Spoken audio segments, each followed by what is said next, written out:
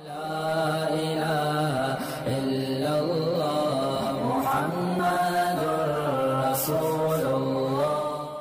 سارے لبرل لوگ جو ہے نا، عاطف میاں کو ہٹانے پر بہت زیادہ مخالفت کر رہے ہیں عمران خان کی۔ اور علماء کی بھی اور کچھ جلوس ملوس بھی چھوٹے موٹے نکل رہے ہیں۔ ان کا بھی یہی مسئلہ ہے۔ وہ کہہ رہے ہیں کہ ہم نے کوئی عاطف میاں سے نماز تھوڑی پڑھوانی تھی۔ ان کا بھی یہی مسئلہ ہے۔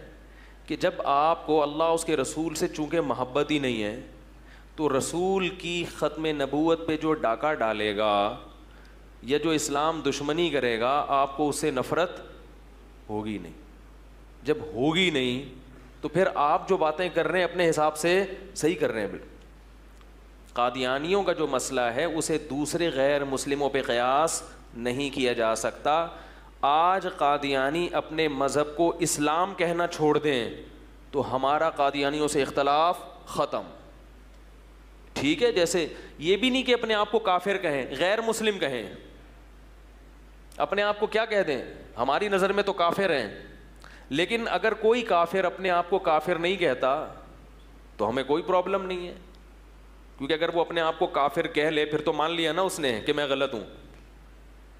دیکھو، صلح حدیبیہ کے موقع پر جو دستاویز تیار ہوئی تھیں، اس میں نبی صلی اللہ علیہ وسلم کا نام تھا رسول اللہ۔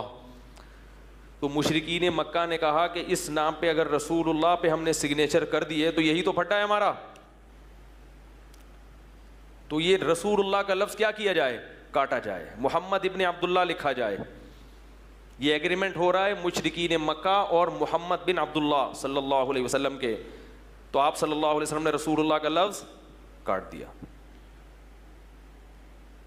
اس لیے کہ بھائی، ان سے تو بڑا ہی یہی اگر وہ اس کو مان لیں، تو یہ کاٹنا اس کی علامت نہیں ہے کہ آپ نے معاذ اللہ رسالت کا انکار کر دیا، بلکہ اس لیے کہ ہم غیر مسلم پر اتنی ہی بات کر سکتے ہیں جس کو وہ تسلیم کرتا ہے۔ تو اگر یہ جو غیر یہ جو جتنے بھی غیر مسلم ہیں اپنے آپ کو کافر نہیں کہتے، تو ہمیں کوئی غیر مسلم کہیں، کیونکہ اسلام محمد صلی اللہ علیہ وسلم کا لایا ہوا دین ہے، اس میں ہم ڈاکہ برداشت نہیں کریں گے۔ کسی ایسی چیز کو اسلام کہا جائے جو اسلام نہیں ہے، یہ قابل برداشت نہیں ہے۔ لہٰذا جو قادیانی ہیں، وہ غیر اسلام کو اسلام کہہ رہے ہیں۔ وہ اس دین کو اسلام کہتے ہیں جو مرزا قادیانی ملعون لے کر آیا جبکہ ہم یہ کہتے ہیں کہ وہ شریف انسان نہیں تھا، پیغمبر ہونا تو اس کے بعد کی چیز ہے بار بار یہ دعویٰ کرتا ہوں، کوئی بھی قادیانی، کسی بھی ختم نبوت کی تنظیم سے متعلق، کسی بھی عالم کے پاس لے آؤ، میرے پاس لے آؤ ان شاء اللہ میں اسے قائل کروں گا۔ اس پر وہ مناظرہ کرے، اس پر وہ بحث کرے، اس پہ ڈیبیٹ کرے کہ مرزا غلام احمد قادیانی کو شریف انسان ثابت کر کے دکھا دو۔ شریف انسان۔ نبوت سے پہلے کیا ہے؟ شرافت آپ صلی اللہ علیہ وسلم نے جب نبوت کا دعویٰ کیا تو آپ نے پہلے کیا کہا کہ کبھی مجھے جھوٹ بولتے ہوئے دیکھا تم نے؟ بتاؤ میں کیسا ہوں؟ لوگوں نے کہا، آپ صادق اور امین ہے پہلے اپنا اچھا انسان ہونا ثابت کیا جاتا ہے۔ نبوت اس کے بعد کی چیز ہے۔ ابو سفیان نے جب وہ غیر مسلم تھے، کافر تھے، اس وقت تقریر کے دوران کہا کہ ہم نے محمد صلی اللہ علیہ وسلم کو کبھی جھوٹ بولتے ہوئے، چالیس سال میں کبھی نہیں دیکھا جھوٹ بولتے ہوئے، کبھی امانت میں خیانت کرتے ہوئے نہیں دیکھا۔ حضرت خدیجہ نے چالیس سال کی عمر میں پچیس سال کے نبی سے جو نکاح کیا، وہ کیوں؟ ایماندار ہونے کی وجہ سے۔ حضرت خدیجہ کے پاس پیسہ تھا، مگر اس پیسے کو کاروبار میں لگانے کے لیے کوئی ایماندار انسان نہیں مل رہا۔ جیسے کہ انویسٹر کو کس کوئی ایماندار انسان چاہیے ہوتا ہے۔ تو اس نے حضرت خدیجہ رضی اللہ تعالیٰ عنہ نے کس کی سلیکشن کی ہے؟ محمد صلی اللہ علیہ وسلم کے۔ حالانکہ ان کے پاس رشتوں کی کمی نہیں تھی۔ رشتوں کی کمی نہیں تھی، تاریخ کی کتابوں میں ہے خطبہ اشراف و قومن حضرت ختیجہ جب بیوہ ہوئی ہیں، قوم کے سرداروں نے نکاح کے پیغام بھیجے ہیں۔ لیکن انہوں نے کس کو پسند کیا؟ محمد صلی اللہ علیہ وسلم۔ کیوں ان؟ اس میں ایک حکمت یہ بھی تھی کہ کاروبار کے لیے کوئی ایسا شخص چاہیے تھا جو ان کے مال کی حفاظت کر سکے۔ تو مرزا غلام احمد قادیانی کا صادق اور امین ہونا تو دور کی بات۔ شریف انسان ہونا قادیانی ثابت نہیں کر سکتے۔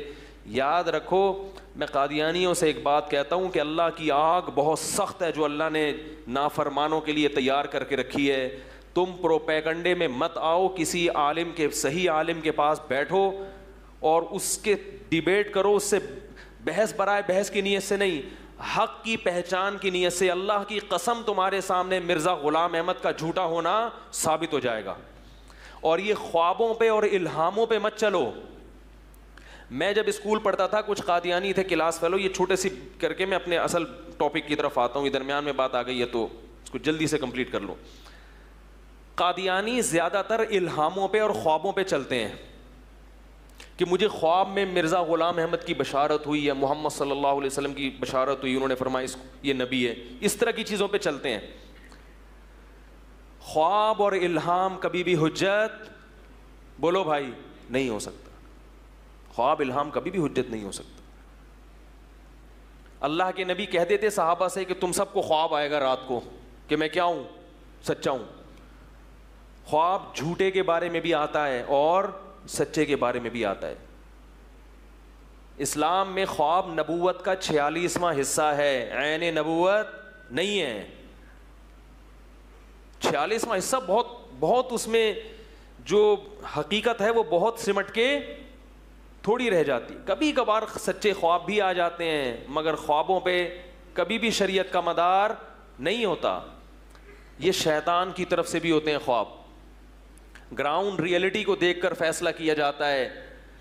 کبھی بھی خوابوں کی بنیاد اور الہاموں کی بنیاد پہ شریعت کے مسائل چینج نہیں ہوتے۔ ایک آدمی کا دلائل کی دنیا میں جھوٹا ہونا ثابت ہو گیا۔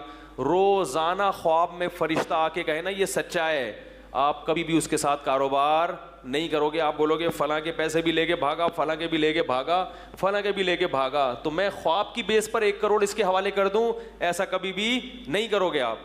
تو خوابوں کی بیس پر اپنا پیسہ کسی کے حوالے نہیں کیا جاتا، کسی جھوٹے کو سچا نبی کیسے مان لیا جاتا ہے بھائی؟ کیونکہ میں قادیانیوں کے ساتھ اٹھا بیٹھا ہوں بچپن میں، مجھے اندازہ ہے کہ یہ کن چیزوں کو فوکس کرتے ہیں؟ خواب خواب، الہام، خواب، میں سویا تو مجھے یہ آ گیا، میں اٹھا تو پورا دین اس پہ چل رہا ہے۔ اور ہمارے ہاں بھی بہت سے بدعتیوں کا دین خوابوں اور الہاموں پہ چل رہا ہے۔ حضرت جی آئے تھے مجھے خواب میں۔ حضرت جی نے یہ بولا، حضرت جی نے وہ، میں کہا تو اللہ کا واسطہ تو سو جائے کر آرام سے۔ بہوؤں کو خواب میں سانسیں چڑیل بن کے نظر آ رہی ہیں۔